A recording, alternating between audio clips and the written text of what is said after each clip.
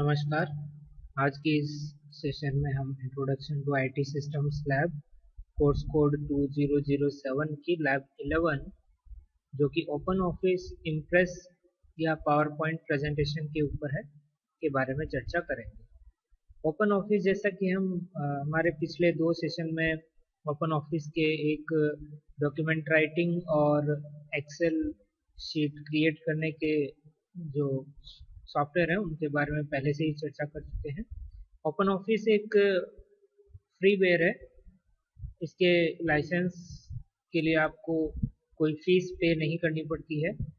और ये सारे फीचर्स आपको अवेलेबल करवाता है, जो कि एक माइक्रोसॉफ्ट ऑफ़िस जैसा कोई भी डॉक्यूमेंट राइटिंग या ऑफ़िस सूट जो है, वो आपको प्रोवाइड करवाता है। और इसकी सबसे बड़ी खासियत ये है कि ये आपको फ्री में अवेलेबल है यूज़ करने के लिए और इसके लाइसेंस के लिए आपको कोई फ़ीस पे नहीं करनी पड़ती, ठीक है? तो ओपन ऑफ़िस इम्प्रेस जो है उसका प्रयोग हम मुख्यतः हमारा जो पावर पॉइंट प्रेजेंटेशन होती है पीपीटी जिसे हम कहते हैं, वो बनाने के लिए किया जाता है और जब भी कोई प्रेजेंटेशन आप क्रिएट करते हैं तो उसमें स्लाइड्स होती हैं और आप स्लाइड्स जैसे ये हम अभी जो मैं आपको प्रेजेंट कर रहा हूँ, ये एक पावर पॉइंट स्लाइड है और पीपीटी है बेसिकली पावर पॉइंट प्रेजेंटेशन तो इस तरीके का अगर आपको कोई डॉक्यूमेंट क्रिएट करना है तो आप ओपन ऑफ़िस इम्प्रेस का प्रयोग कर सकते हैं। और अभी हम इसमें लाइव देखेंगे कि किस तरीके से हम जो है पावर पॉइंट प्रेजेंटेशन जो है वो क्रिएट कर सकते हैं ओपन ऑफ़िस इम्प्रेस में। और फर्दर ये आपका एक लिंक है ओपन ऑफ़िस की ऑफिशियल साइट का, जहाँ पर आपको इससे संबंधित जो मैनुअल हैं वो आपको मिल जाएँगे। तो फर्दर अगर आपको कोई भी डाउट हो या रीडिंग हो, आप इसको रेफर कर सकते हैं या फिर हमें बताइए। आप बताएँगे तो हम यहाँ पर उसकी चर्चा ज़रूर कर लेंगे, जो भी अगर आपको कोई समस्या होती है। तो चलिए अभी हम जो है अपना एक डॉक्यूमेंट या पीपीटी क्रिएट करके देखते हैं कि किस तरीके से और क्या क्या फीचर इसमें हमारे पास अवेलेबल हैं। पावर पॉइंट ये आपका जो ओपन ऑफ़िस इम्प्रेस है उसमें। तो देखिए, ये आपका सबसे पहले स्टार्ट इस तरीके से होता है। सबसे सर्वप्रथम ये आपसे ये पूछता है कि किस तरीके का प्रेजेंटेशन आपको चाहिए? क्या एम प्रेजेंटेशन चाहिए या किसी ऑलरेडी एग्जिस्टिंग टेम्पलेट चाहिए या ओपन ऑलरेडी एग्जिस्टिंग कोई आपका प्रेजेंटेशन बनाया हुआ है, कोई फ़ाइल बनाई हुई है, उसको आपको ओपन करना है। तो उसके बाद हम मान लीजिए हमें एम प्रेजेंटेशन चाहिए तो हमने नेक्स्ट कर दिया।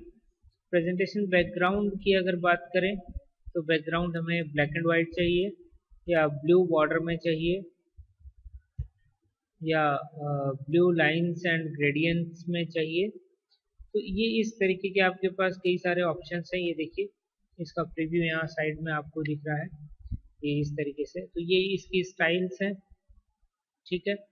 और इनमें से आपको किस टाइप का जो है वो फीचर आपको सेलेक्ट करना है। ये इनमें से आप एक सेलेक्ट कर सकते हैं। सेलेक्ट एन आउटपुट मीडियम अगर आपको स्क्रीन पे आउटपुट चाहिए, या स्लाइड में चाहिए, या ओवरहेड शीट पर चाहिए, या पेपर पे चाहिए आउटपुट किस टाइप का आपको चाहिए, मान लीजिए हम स्क्रीन में ही नहीं देखते हैं तो ये इस तरीके का आपका जो है ये देख सकते हैं आप। और ये आपके जो है वो स्लाइड के अलग अलग डिजाइंस है, जो कि आप यहाँ पर देख रहे हैं। और इसमें से जो भी आपको अच्छा लगता है, आप इनमें से सेलेक्ट कर सकते हैं। कि देखिए, आपके पास कई सारे अट्रैक्टिव जो हैं स्लाइड्स जो हैं, वो अवेलेबल है। और मान लीजिए हम ये वाला स्लाइड जो है, वो लेके चलते हैं। फिर हमने नेक्स्ट कर लिया अगर इफ़ेक्ट आपको चाहिए कि किस तरीके से आपके जो टेक्स्ट है वो वन बाय वन आएँगी लाइनें। तो मान लीजिए हम कर देते हैं कि वाइप अप कर देते हैं, ठीक है? स्पीड इसकी मीडियम रखते हैं। इस तरीके से जो है आपका टेक्स्ट आएगा। ये देखिए, और प्रेजेंटेशन टाइम जो है वो ऑटोमेटिक भी आप कर सकते हैं, यानी कि अपने आप की अगली स्लाइड जो है वो चलेंगी।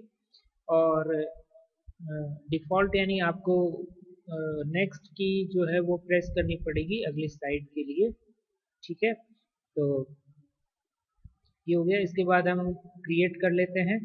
जब हम क्रिएट करेंगे तो देखते हैं पहली स्लाइड आपकी किस तरीके से खुल के आती है। ये देखिए, ये आपका पहली स्लाइड खुल के आ गई। इसमें ये आपका सबसे पहले फ्रंट पेज है, ठीक है?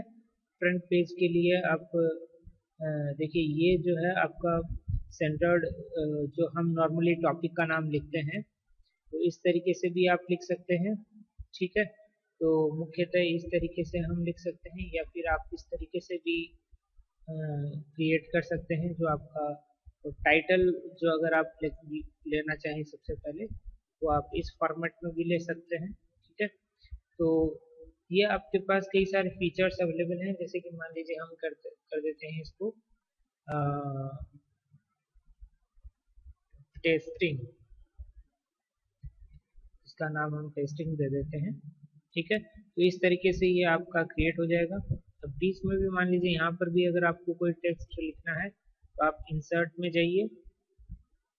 इंसर्ट में जाके फिर यहाँ पर आपको जो है ये कई सारे जो है ऑब्जेक्ट आप देख सकते हैं, ठीक है? चार्ट आप देख सकते हैं टेबल आप इंसर्ट कर सकते हैं। अगर आपको कोई पिक्चर इंसर्ट करनी है, आप वो कर सकते हैं। ठीक है? तो इस तरीके से जो है आप इंसर्ट कर सकते हैं ऑब्जेक्ट्स को और ये आपका फॉर्मेट है, ठीक है? फॉर्मेटिंग की, ये आपकी टूल्स हो गई। टूल्स में स्पेलिंग चेक करना है लैंग्वेज आप कौन सी गैलरी जो है वो, ये सब आप देख सकते हैं। स्लाइड शो अगर आप देखेंगे तो स्लाइड शो यानी कि फुल स्क्रीन में वन बाय वन जो आपकी स्लाइड चलती हैं, वो आपका स्लाइड शो हो गया, ठीक है? तो इस तरीके से जो है आप इसके जो अलग अलग फीचर्स हैं, आप उनको यूज़ में ले सकते हैं। और ये प्रॉपर्टीज़ का है, ये मास्टर पेज हो गया आपका। मास्टर पेजेस में इस तरीके से आपको ये टेक्स्ट कंटेंट्स जो है वो दिखेगा। और ये आपके पास और भी कई सारे अवेलेबल जो हैं वो टेम्पलेट्स हैं जिनका आप यूज़ में ले सकते हैं। ठीक है? और स्लाइड ट्रांजिशन यानी एक स्लाइड से दूसरी स्लाइड में जब आप जाते हैं तो आपका किस तरीके का जो है वो एनिमेशन दिखेगा आपको? ये उसका हो गया, ठीक है? और इस तरीके से जो है आपके पास बहुत सारे फीचर्स यहाँ पर अवेलेबल हैं, जो कि आप यूज़ में ले सकते हैं। और इनमें से देखिए, जो आप पेज नंबर इसमें आप इंसर्ट कर सकते हैं बॉटम में। ये आपका पेज नंबर का खुल के आ जाएगा। ठीक है पेज नंबर में आपको डेट चाहिए या आपको स्लाइड नंबर अगर आपको इंसर्ट करना है तो वो आप यहाँ पर कर सकते हैं। ठीक है तो इस तरीके से जो है आप इसमें आ, अपना जिस भी तरीके से आपको इसको फॉर्मेट करना है आप इसमें आ, कर सकते हैं अपनी नीड के अकॉर्डिंग ठीक है और इसमें जो है एक आप यहाँ पर देखें कि ऑब्जेक्ट्स की अगर आप बात करें तो ऑब्जेक्ट्स में देखिए आप नया ऑब्जेक्ट इस तरीके का जो है वो क्रिएट कर सकते हैं। और इसके बाद ये देखिए, ठीक है? ये इस तरीके का एक आपने ऑब्जेक्ट क्रिएट आप इसमें कर सकते हैं। और इसमें जो भी आपको देखिए, ये आपके शेप जो है वो आप इंसर्ट कर सकते हैं। और इनमें से भी आपके बेसिक ये फर्दर शेप आप यहाँ से फाइंड आउट कर सकते हैं। ठीक है, मान लीजिए स्क्वायर आपको इंसर्ट करना है। आप इस तरीके का कोई भी एक स्क्वायर जो है वो इंसर्ट कर सकते हैं। और इसमें और भी बहुत सारी चीज़ें हैं जो कि आप ये, इसमें आप इंसर्ट कर सकते हैं। इसमें आप इंसर्ट करने के लिए एडिट स्टाइल भी कर सकते हैं। टेक्स्ट भी आप इसमें लिख सकते हैं। ठीक है? टेक्स्ट मान लीजिए ओके आप यहाँ पर इसको कर दीजिए। तो इसके डबल क्लिक करेंगे तो स्क्वायर आप यहाँ पर लिख जैसे कि, ठीक है? ये आपका एक स्क्वायर यहाँ आपने इंसर्ट कर दिया। तो इस तरीके से जो है आप यहाँ पर देख सकते हैं कि और कौन कौन से आप ऑब्जेक्ट जो है वो इंसर्ट कर सकते हैं। और फार्मूला भी आप इसमें इंसर्ट कर सकते हैं, ठीक है? तो और भी बहुत सारी चीज़ें यहाँ से आपका कलर सेट होगा कि आप कौन से कलर में लिखना है। ठीक है? और इसके बाद इस पर डबल क्लिक करेंगे तो ये आपका एडिटिंग मोड में आ जाएगा। ठीक है? ये आप टेक्स्ट के जो है स्टाइल को आप यहाँ से सेलेक्ट कर सकते हैं। किस स्टाइल का आपको टेक्स्ट चाहिए। साइज़ इसका अगर आपको बढ़ाना है, कम करना है, वो यहाँ से आप कर सकते हैं। ये टेक्स्ट का फॉन्ट है आपका। कि अगर आपको फॉन्ट जो है वो चेंज करना हो तो यहाँ से आप कर सकते हैं। इसमें भी देखिए, आपको एक्सपोर्ट एज पीडीएफ डायरेक्टली का ऑप्शन मिलता है। तो आप इसको पीडीएफ में डायरेक्टली जो है वो एक्सपोर्ट कर सकते हैं। ठीक है? और इसमें और भी अगर आपको जैसे कुछ डेट या टाइम या ऑथर का नाम page number file name content ये भी अगर आपको इंसर्ट करना हो तो आप वो भी इसमें कर सकते हैं। तो ये देखिए आपका बेसिक फीचर्स हैं इसमें। और अगर आप इसको नीचे भी देखें तो नीचे भी आपके पास ये इसके ऑब्जेक्ट जो हैं वो अवेलेबल हैं इंसर्ट करने के लिए। ठीक है? तो इस तरीके से जो है आप इसमें अगर आपको केवल टेक्स्ट फ़ील्ड जैसे इंसर्ट करना है तो आप यहाँ से कर सकते हैं। हेलो वर्ल्ड ठीक है?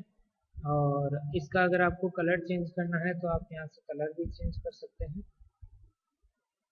तो इसमें बहुत सारे और भी आपके पास फीचर्स अवेलेबल हैं। ठीक है? अपने हिसाब से आप जो है इसमें ये देखिए, फिर ये इसकी फॉर्मेटिंग आप यहाँ पर कर सकते हैं। टेक्स्ट का अगर आपको एनिमेशन जो है वो चेंज करना हो तो आप उसको भी चेंज कर सकते हैं। और इसमें देखिए और अगर आप देखें तो इसके कलर को मान लीजिए आपको येलो करना है, आप इसको येलो कलर में भी ला सकते हैं। ठीक है? तो ये आपका बैकग्राउंड कलर का हो गया। ठीक है? अगर आपको किसी कलर इसमें कोई कलर देना है तो आप इसमें कोई कलर दे सकते हैं बैकग्राउंड में। तो इस तरीके से जो है आप फॉर्मेटिंग इसमें अपने हिसाब से कर सकते हैं। ठीक है? ये शेडो अगर आपको टेक्स्ट को शेडो देनी है, आप शेडो दे सकते हैं। छाया जो है पीछे आपको दिखेगी। ठीक है? तो ये आपका जो है एक बेसिक फॉर्मेटिंग का हो गया यहाँ पर। आप अपने हिसाब से जो भी इसमें ऑप्शंस और जो सेलेक्ट करना चाहें कर सकते हैं। अगर इसको आप फुल स्क्रीन में देखें। स्लाइड स्लाइड में अगर इसको हम देखें तो स्लाइड शो यहाँ पर जा सकते हैं और स्लाइड शो आप यहाँ से शुरू कर सकते हैं। ठीक है, ये देखिए आपका इस तरीके से ये एनिमेशन आएगा। नेक्स्ट करेंगे तो ये आपकी, क्योंकि एक ही स्लाइड है, इसलिए एक ही स्लाइड इसमें चलेगी। और जब आप नेक्स्ट करेंगे तो ये बाहर आ जाएगा। फिर अगर नई स्लाइड आपको इंसर्ट करनी है राइट क्लिक करिए यहाँ पर और फिर आप न्यू स्लाइड इसमें ला सकते हैं, ठीक है? और ये डुप्लीकेट स्लाइड अगर आपको करनी है, फिर यहाँ से अगर आपको मान लीजिए स्लाइड का इसका जो है आपको फीचर चेंज करना हो कि किस तरीके की ये स्लाइड दिखे तो आप स्लाइड लेआउट जो है उसमें जाइए और स्लाइड लेआउट में मान लीजिए आपको इस तरीके का कुछ चाहिए। या इस तरीके का अगर आपको चाहिए तो आप इसमें ये सेलेक्ट कर सकते हैं। मान लीजिए सेकंड स्लाइड सेकंड स्लाइड और फिर देखिए, यहाँ पर अगर आपको कोई भी टेक्स्ट लिखना है hello how are you we are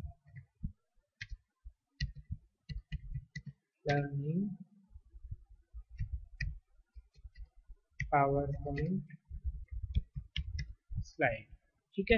तो इस तरीके से जो है आप इसको इस्तेमाल कर सकते हैं यूज़ में ले सकते हैं और इसमें अपनी स्लाइड जो है वो आप क्रिएट कर सकते हैं।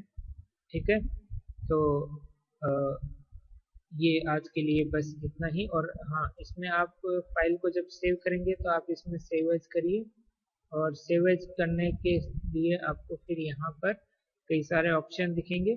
आप ओडीएफ प्रेजेंटेशन ओ फॉर्मेट में भी कर सकते हैं ओटीपी में भी कर सकते हैं और पीपीटी में भी कर सकते हैं। पीपीटी का ऑप्शन भी आपके पास यहाँ पर अवेलेबल होता है, ठीक है?